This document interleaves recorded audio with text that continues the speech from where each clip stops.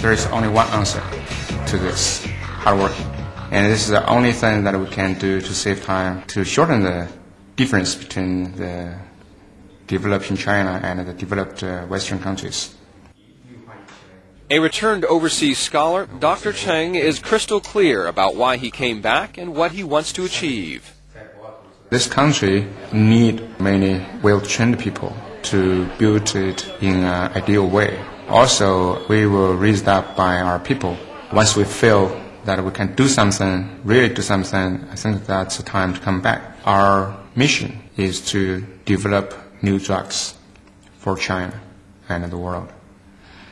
In the past 50 years, China has generated by itself no more than two new drugs. And it's a very pitiful record. And uh, since the joining of WTO, we have to now consider seriously to respect the intellectual properties. And so that is why now the government officials are looking at this very seriously.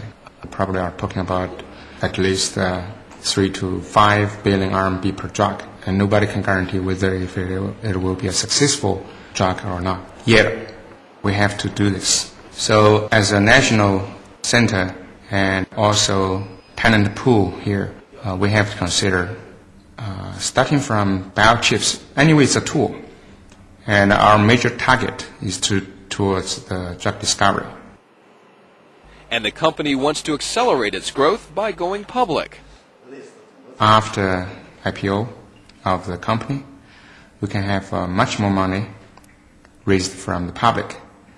Then we can do not only our own R&D, but also some investment into other companies or purchase some of the technologies that we need. Investing in IT or biotechnology in Zhongguancun is more investments but huge return. And how you can achieve this return is we have the China domestic market as well as uh, international market because these products are exportable. They are very high quality.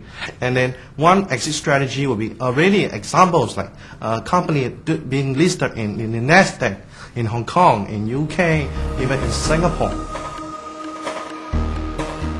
Zhongguancun is going through essential changes. It aims to be a model base of international technical innovations and an incubation hub for its own scientific and technological achievements. The route Zhongguancun is taking has made many compare it to the Silicon Valley of the United States.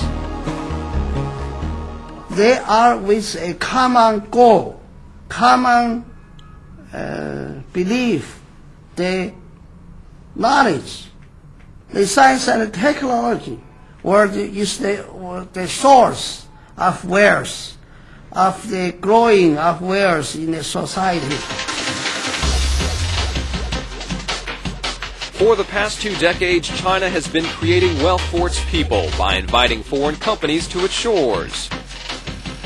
And it's a well-known fact that companies place their production bases in China because of relatively low land and labor costs. But the country's growing affluence is likely to change the world's perception of what it can offer in the next 10 years.